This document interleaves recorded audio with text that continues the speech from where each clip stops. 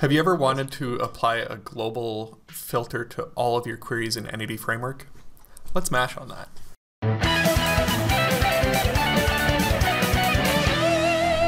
Hi, everybody, and welcome to another episode of the ASP.NET Monsters. Today's episode is brought to you by AppVeyor, continuous integration services for Windows developers. Dave, Simon, James, it's good to be back. It's Welcome. good to be back. I, I've been on a little bit of a hiatus here. Yeah. I think this is the first time we're all together since we cracked 100 episodes.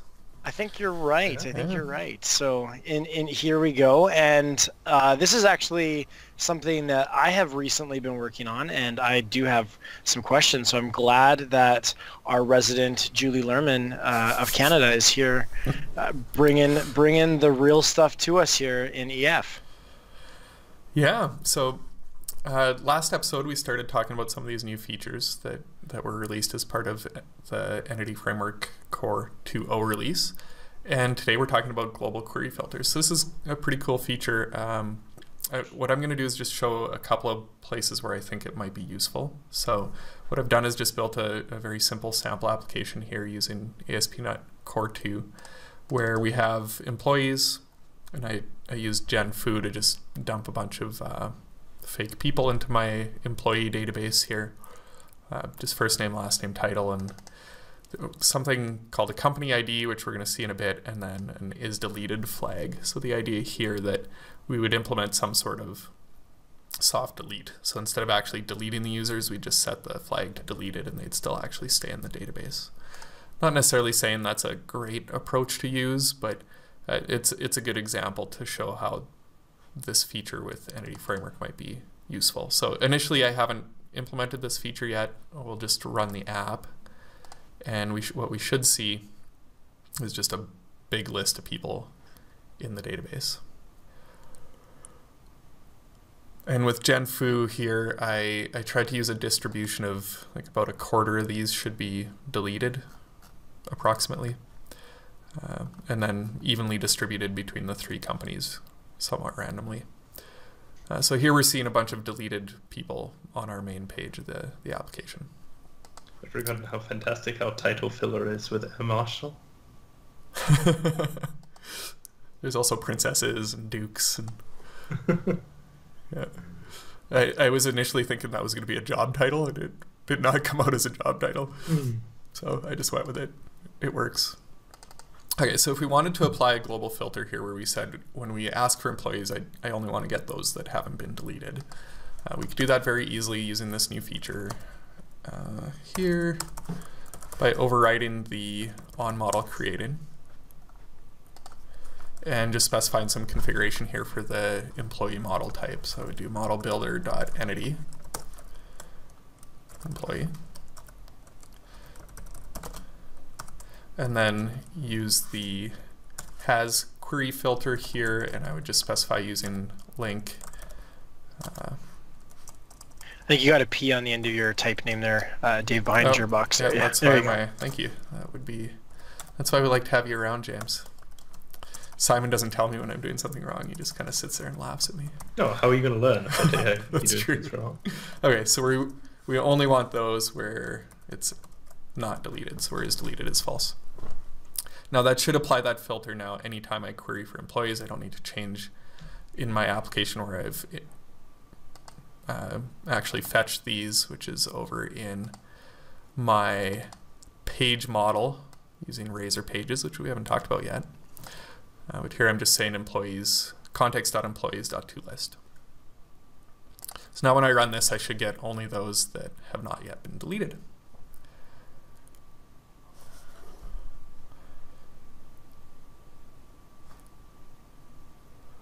Starting up, and it looks like, yes, they are all set to false. So there's none that have been deleted. And if we just go to double check, so I always like to see the code, the query that was uh, generated there. I'll try to zoom in so you can see it. Uh, there's that where clause. So it said where is deleted equals zero. So provided, I mean, if you're building indexes appropriately and whatnot, then this doesn't even necessarily seem like this. This kind of feels like if I were adding a field, if I was adding, if I were to add the uh, like a soft delete within his de- deleted uh, flag on a field, this to me kind of feels like a little bit of a shortcut for in terms of implementation. Um, however, on on the flip side, it's also a way that you're probably going to catch a lot of things, and I could actually see this working really well in for multi-tenancy situations. Yeah, so that's kind of where my mind went initially as well, and that's why I had that company ID in there.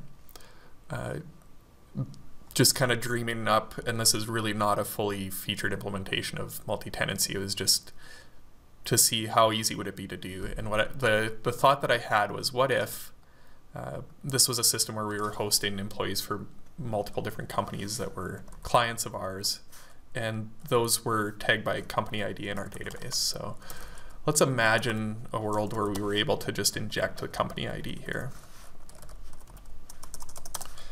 I seem to be having an off by one error on my keyboard placement here with my fingers. There's one thing that I learned in elementary school was home row. Where to put Yeah. my fingers. You know, we learned that in elementary school too because uh, our computer teacher spray painted all our keyboards black so we would learn the keys.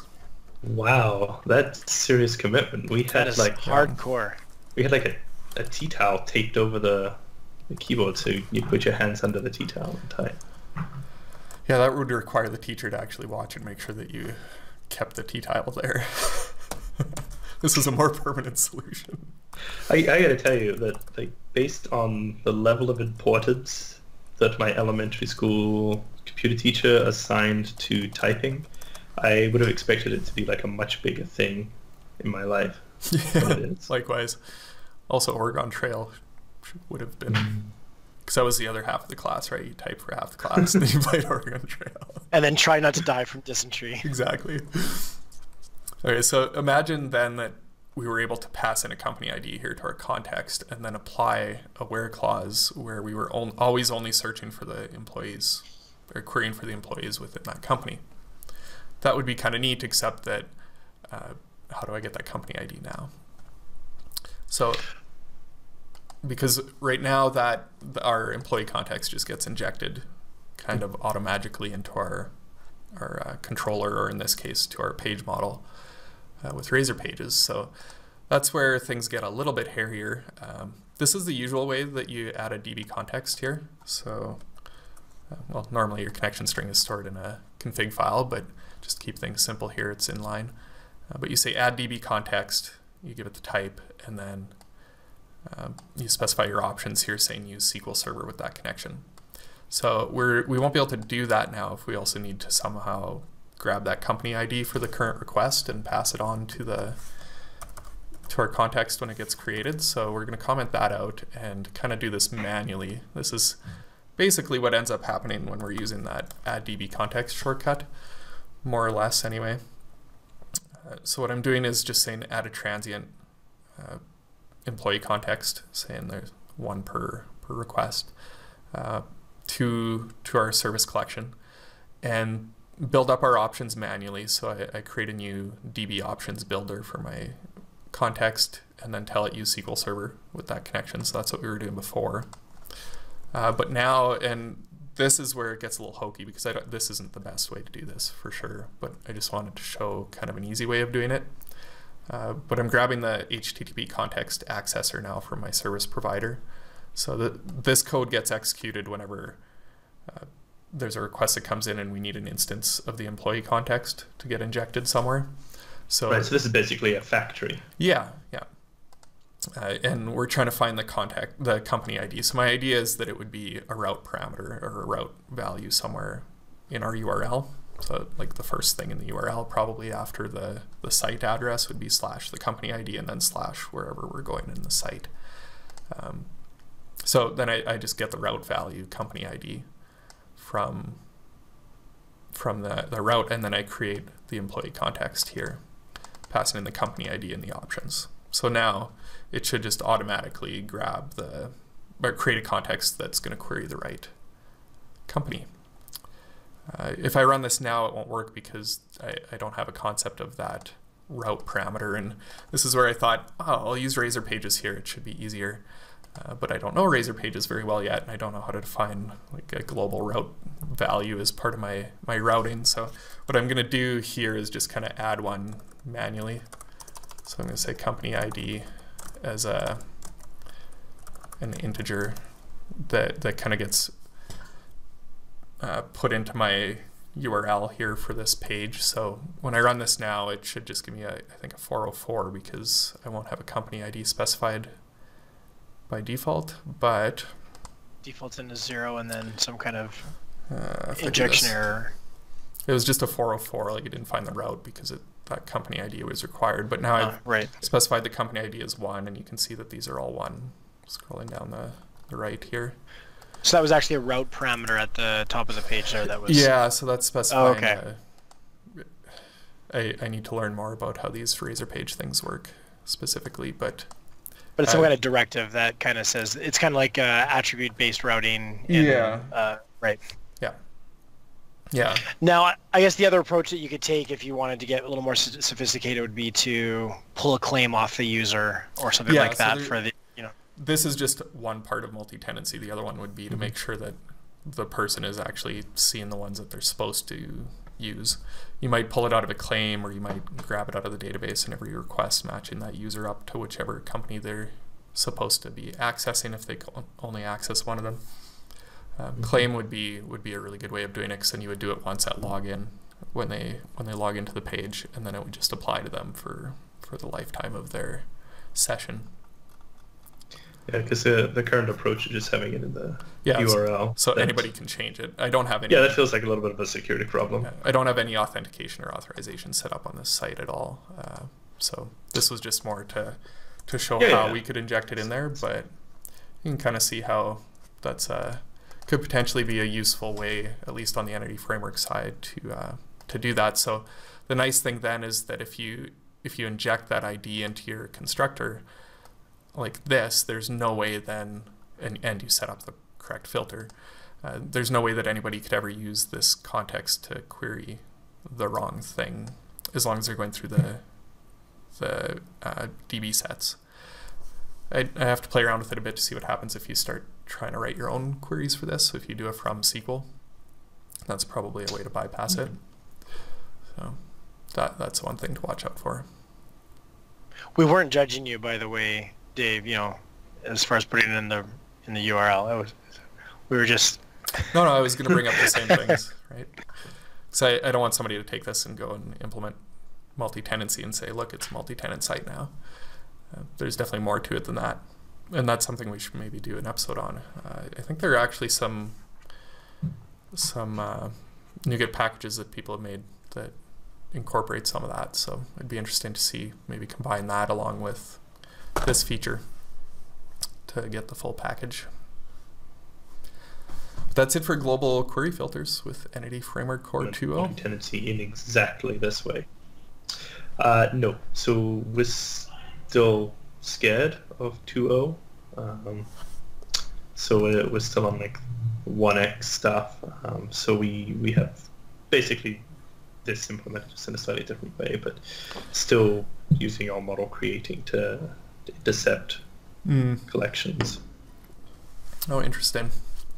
And does it does it append a where clause somehow to the SQL query? Yeah. Yeah. Okay. Yeah, we found a library that does it. Uh, I see. So doing the same thing, but Right. So yeah, now this stuff is Should be a little easier. Framework two is Surface, and it should be a little bit easier Yeah. to do this sort of thing in a supported fashion. cool. Okay, well, I guess we're done. Yeah. So, thanks everybody for coming out and listening to another episode of the ASP.NET Monsters. Remember to like, comment, and share. Uh, if you write a comment down below, we'll read every one of them, and if we answer your question on the air, we'll send you a sticker, which I never have. Like you would think that I would learn to just like put a have one here. sticker in this room. Well, I'm glad that, that somebody here is on the ball. this this is my last. Um, I have 12 stickers here. This is the last 12 of these stickers. Fortunately, I have a few still. I think. You have the most left, but somehow you never have one with you, which is I think why you have so many left. It's probably true. Yep. I did, I did give away a bunch in Austin a few weeks ago, so somebody down there has some. All right, well, thanks everybody for joining us, and we'll see you all next time. Cheers. Bye.